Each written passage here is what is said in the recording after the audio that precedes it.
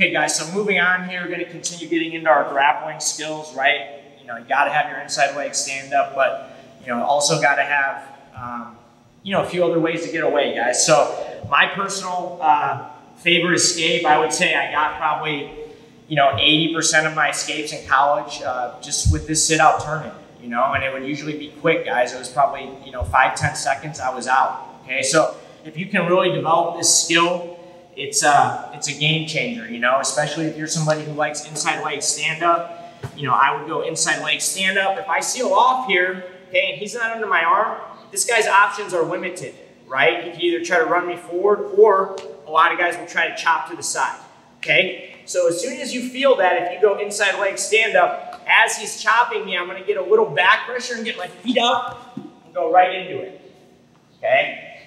It's subtle, but stay off for a second.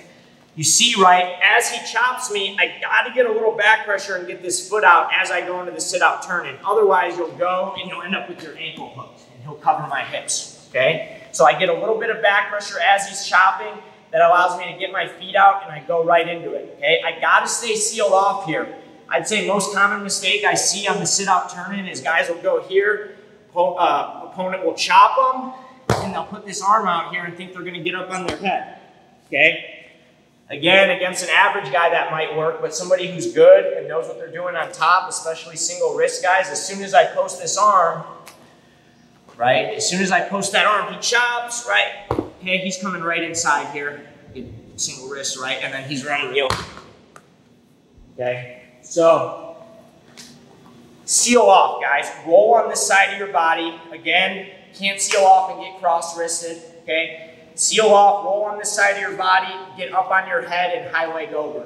All right, that's the key, guys. I'm trying to stay tight, compact in a ball. Okay, don't get extended, right? Stay tight, compact. He chops.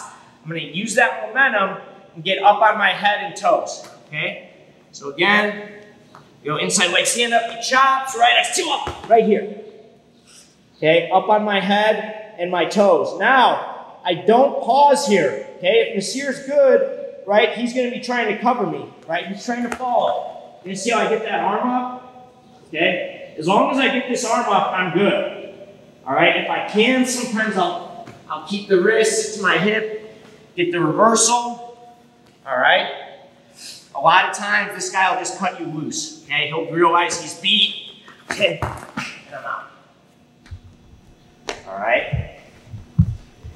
When you high leg over, guys, do not pause right? You've done everything right so far.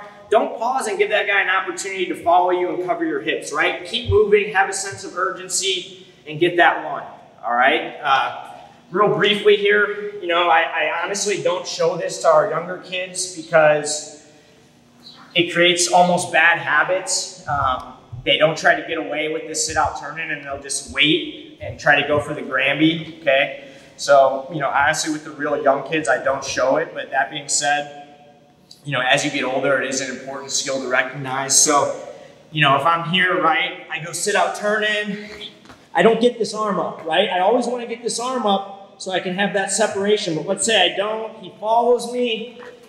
I can go into a Granby or Peterson here. All right.